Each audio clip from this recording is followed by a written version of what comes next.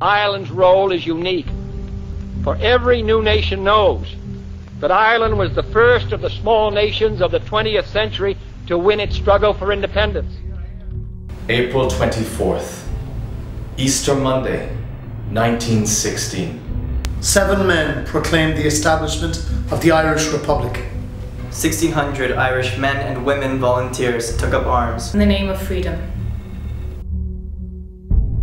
Dublin city centre became a war zone. A week later, the rebellion was suppressed.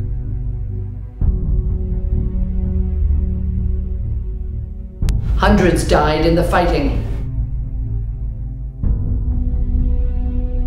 Thousands were wounded.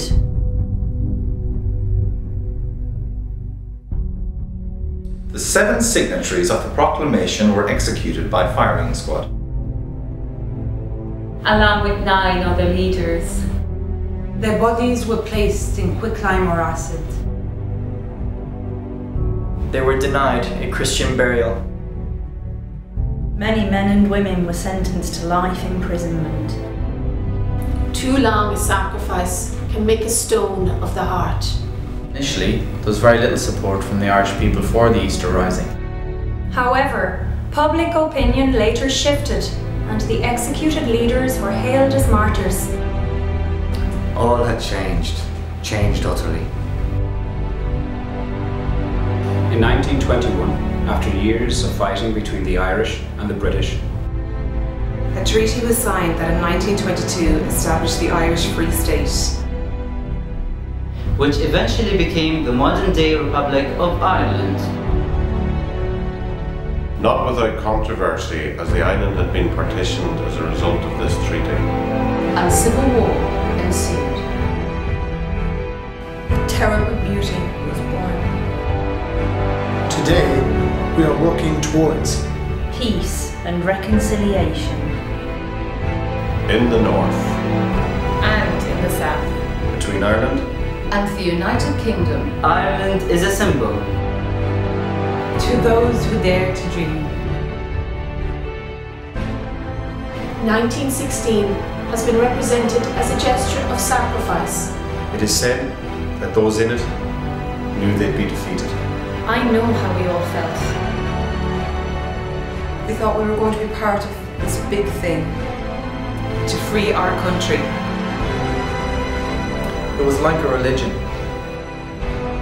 Something that filled the whole of life. Personal feelings and vanities, wealth, comfort, position. These things did not matter. Everyone was exalted. Caught up in the sweep of a great movement, we saw a vision of Ireland free. You were We did not realize this vision.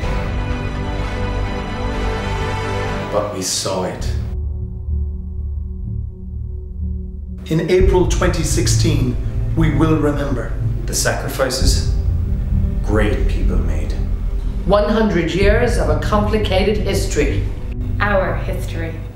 Let's celebrate us and look to build a better future.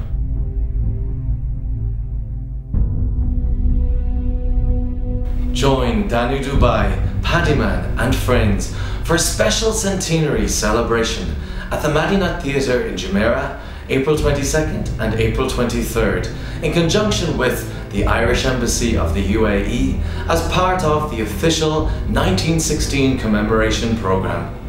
Biggie on. Ireland's role is unique. No larger nation did more to keep Christianity and Western culture alive in their darkest centuries.